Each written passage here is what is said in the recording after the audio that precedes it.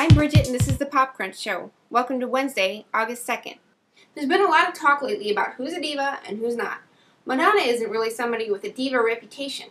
But she has quite a list of special requests when she's on tour. Things like dozens of white roses in her dressing room and several yards of white fabric to drape in it. Another request? A brand new toilet seat for her bathroom in every venue on the tour. Apparently, the toilet seat has to arrive brand new, still wrapped in the plastic, and then her people open it and supervise the installation. Then, after Madonna leaves the venue, somebody's job is to go get that toilet seat and destroy it so that no one can sell it on eBay. I wonder how you destroy a toilet seat. I wouldn't want to be the guy in charge of destroying the toilet seat every night after the show.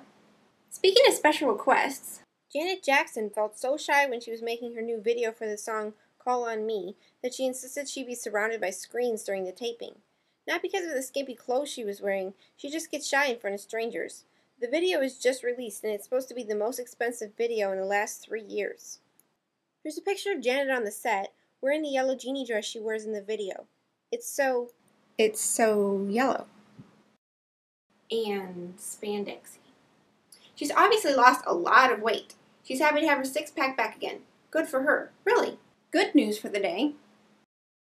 Heath Ledger was officially chosen to play the Joker in the sequel to last year's movie Batman Begins, which will be called The Dark Knight.